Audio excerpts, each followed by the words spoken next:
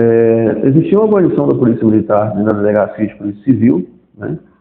E em determinado momento, essa guarnição ela ouve alguns estampidos.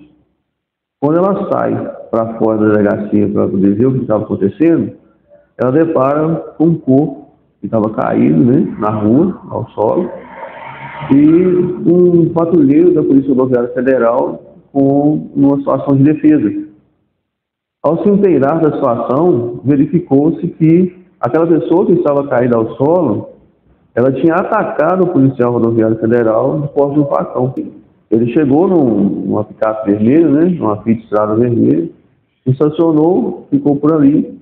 Já existia lá alguns policiais militares, viaturas, e ele toma essa decisão quando chega a, a última viatura, né, que foi a viatura da, da Polícia Rodoviária Federal é para poder se defender, né? É, defender a própria vida dele ali, e foi necessário que ele efetuasse de arma de fogo contra ela, contra o, o, o agressor que se encontrava caído.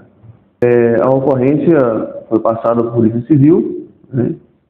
que por sua vez vai repassar para as demais formalidades da Polícia Federal, com a delegacia de plantão nesse momento, né? nessa data, em Patinga. Não, não tem motivação. Não se sabe por que, que esse agressor é, decidiu atacar é, a Polícia Rodoviária Federal.